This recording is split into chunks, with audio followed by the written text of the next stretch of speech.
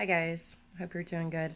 I'm going to do a scenario if narcissists were upfront and truthful from the beginning on the first phone call to meet you on a first date, if they were really truthful. So,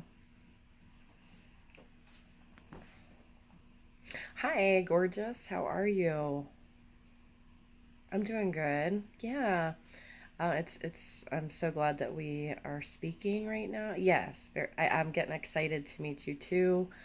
Um, so we're gonna meet at that Mexican restaurant. That sounds. It sounds really good, right? Yeah, yeah. Good. Yeah, like seven, seven o'clock sounds good. Sounds good. Very nice.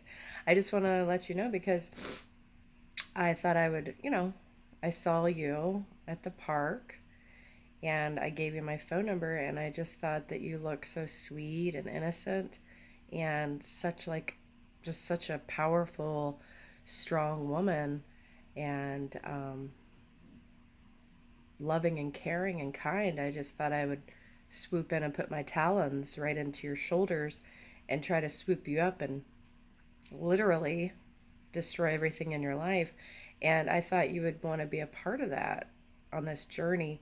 And um, I, I, I, just figured I would come in to your life and, uh, you know, probably, I don't know, get you a bunch of gifts and tell you how beautiful and wonderful you are. And once it starts soaking in to where you believe everything I say, and when I go off for hours at a time. You believe me, and actually, I'm out cheating and I'm uh, doing horrible things. But you'll believe every word I say because I'll have you pretty much wrapped around my finger. So then, when you get sick and, and you don't know where you're getting sick from, it's because I'm bringing home all these different illnesses to you. And then when you wonder where all the money goes, it's because I'm out gambling, but then I'll just tell you that I got a low paycheck and you'll believe everything I say. So then I'll start taking the phones little by little from you. You won't have access to the vehicle. You won't be able to access too many people. I'll keep you isolated and, and pretty much keep you at home all the time. And I'll get you pregnant to where then you really feel dependent on me. And um, and pretty much try to cut out as much of your support system. I'll get your family against you too as well. I'll let them all know and think that you're crazy.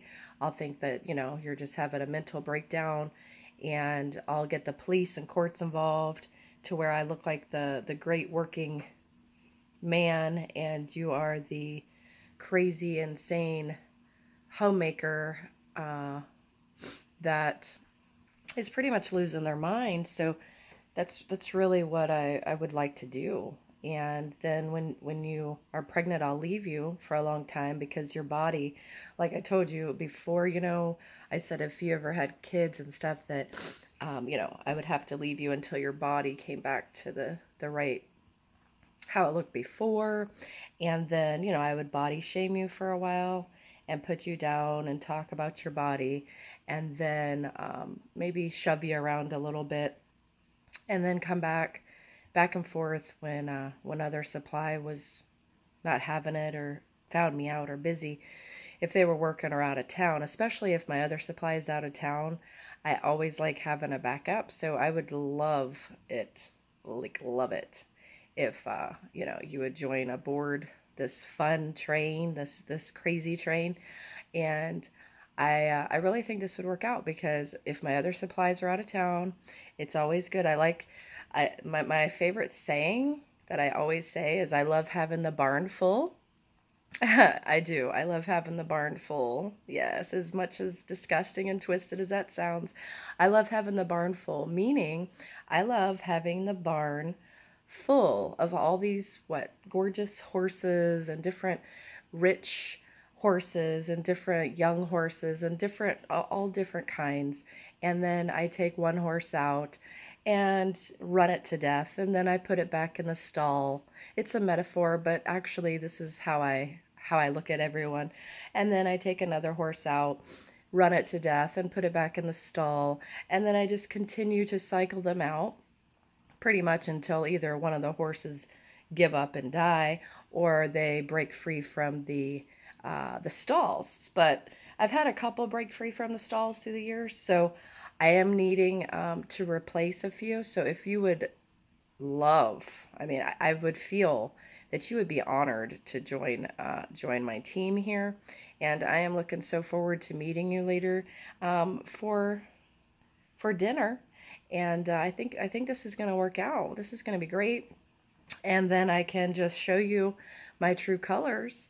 Uh, you know, give a take. I, I usually do it after a couple years. I start giving red flags though after a few months, but um, but then I cover it up with gifts. So you, you know, and I I tell you how sorry. Sometimes I don't apologize though. It's always fake fake apologies. I'll just give you some gifts. So what I'll do is I'll try to keep my mask on as much as I can for several years and then just full blown out like you know, you might get your hair ripped out or your lip busted or you know your phones are going to probably be broken. So i would probably hide a phone um, i don't know. It just depends.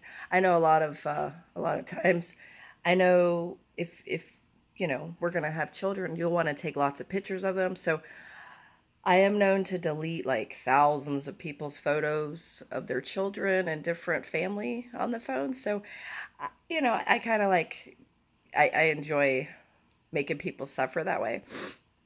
So, um, if you would want to meet later, I feel that I have a, an open stall for you, and I think it's going to work out.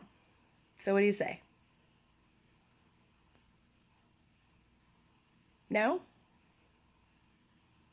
Huh. All right. Shove my margarita up what? Huh. All right. Well, you have a good one then. I guess it's I guess it's a no.